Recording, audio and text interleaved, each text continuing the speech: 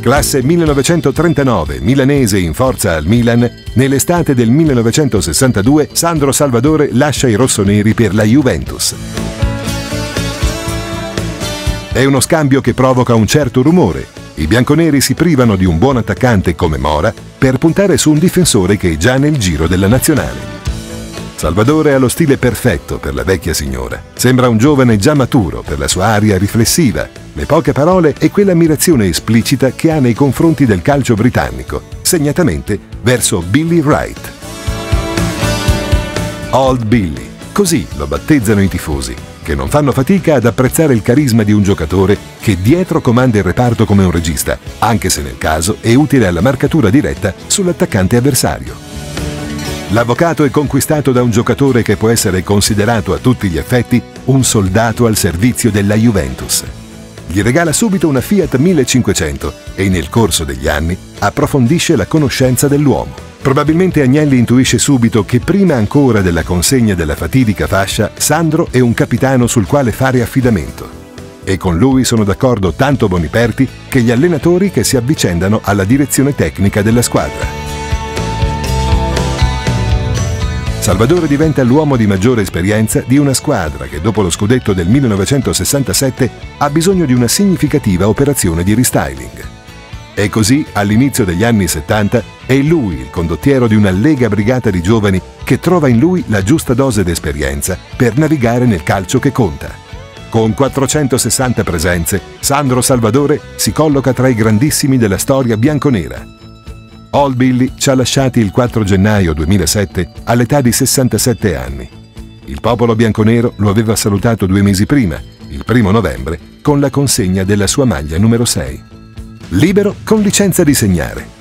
Si diceva così un tempo per i difensori che uscivano dalla propria zona di competenza e si andavano ad affacciare nell'area avversaria. Nel caso di Salvadore, oltre a una capacità tattica nei tempi di inserimento, che lo ha portato a segnare complessivamente 17 gol nella sua esperienza bianconera, va anche rimarcata un'attitudine caratteriale, quell'andare all'assalto nei momenti del bisogno, tipica dei capitani.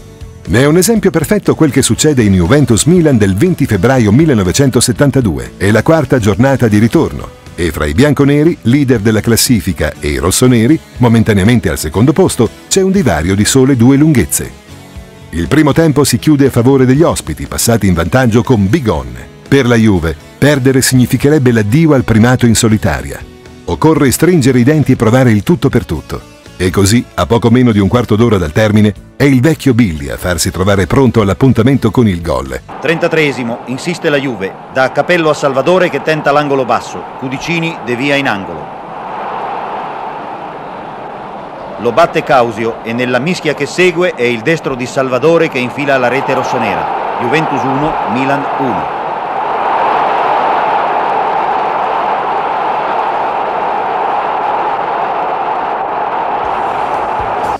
Un evento che si ripeterà praticamente in maniera identica anche nel torneo successivo, sempre contro il Milan, con la rete del 2-2 siglata a metà della ripresa in quello che è l'ultimo gol di Sandro Salvadore in carriera. La Juventus ribatte con vigore e pare aver ritrovato gli schemi validi, qui è Marchetti che conclude al lato. Al 25 il pareggio, punizione di Causio, entra di testa Salvadore e infila 1-1. Il suo anno migliore dal punto di vista realizzativo resta comunque il 1966-67. Le sue quattro reti a Firenze, al Bologna, a Venezia e al Napoli risultano utili per altrettante vittorie e contribuiscono alla conquista del tredicesimo scudetto della Juventus, il primo dei tre ottenuti da Salvadore.